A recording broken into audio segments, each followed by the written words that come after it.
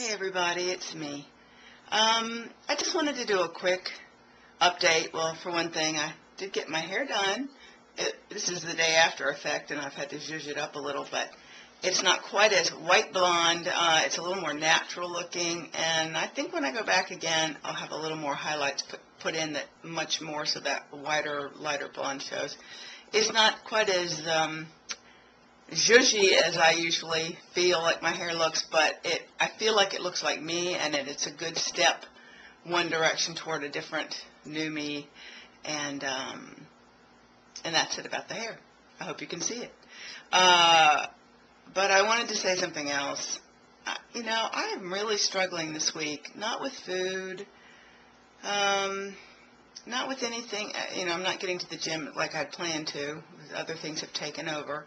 I still walk the dog, so, but I just want to say there's a lot of mental health discussion going on these days on, on, um, around the weight loss community. I mean, there's a great article on Melting Mama's site, and she's got a reference to an article, and then I was talking to Sunny Day the other day on the phone, and she mentioned something she'd read, it might be the same article, um, that morbidly obese people or, or heavy women or whatever have a higher percentage of, you know, some mental disorder which doesn't surprise me because I've suffered from depression most of my life, and I know other people have too.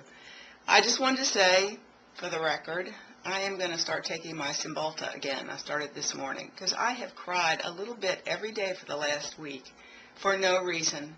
Um, if I'm hormonal, I'd never know because I'm 52, and even though I'm not really through menopause, I um, have a little low uh, release progesterone thing going on inside my body that uh, keeps me from, well, anyway, you men don't want to know about what happens during perimenopause with your monthly visitor. They visit about every four months and then then you can't leave the house. So, uh, so that's helped since I had that right before surgery. So I've not had any monthly visitor but I don't know what hormonally goes on in me still or doesn't. And all I know is I'm weepy, and I sat down this morning and I uh, read some stuff or watched some stuff on YouTube, and and I realized that I, you know, it doesn't matter how thin I get, I still have this depressional issue that's going to come and go, this esteem issue that, gosh knows, you guys couldn't say nice enough things about me all the time, and I really appreciate it. But when it gets down to it, do you really do you really love yourself? And I could just answer in a flat line, no. And there's no reason. There's no reason. And I could do the whole, well, I'm thin enough now, so I should be able to love myself. I mean, that's the most obvious way to look at it. But it's really not about that. There's something deep in my very core that I can't connect with to love myself. And I feel so needy for love. I mean, ridiculously. And my husband's been gone for a month, and maybe it's just that. But I, I feel some other, you know, kind of primal needs rising up within me, and I don't like it.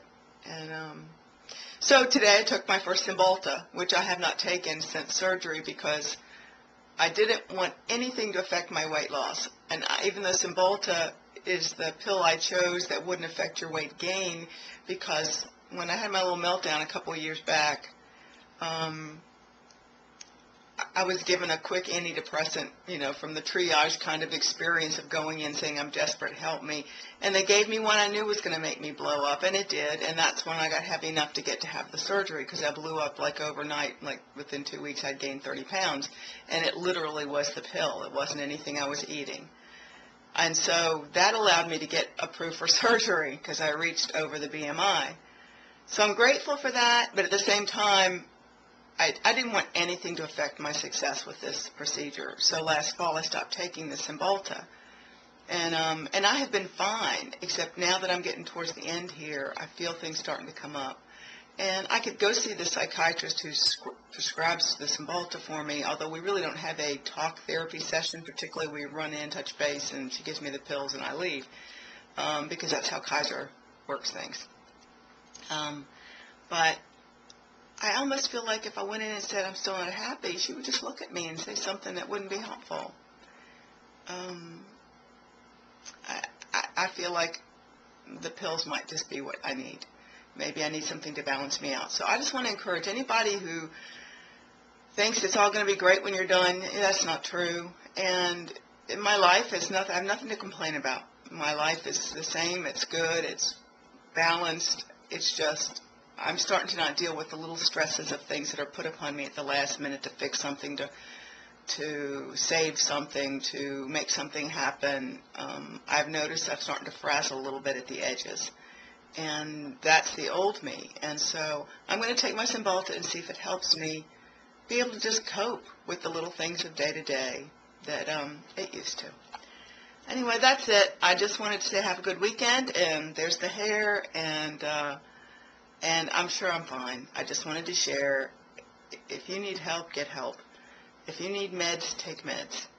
Um, being thin doesn't make you automatically feel any more like you're able to love yourself or receive love from other people than you did before, even though you think it might. So, I love you guys. And I'm fine. I just wanted to say, it is what it is. See ya. Bye.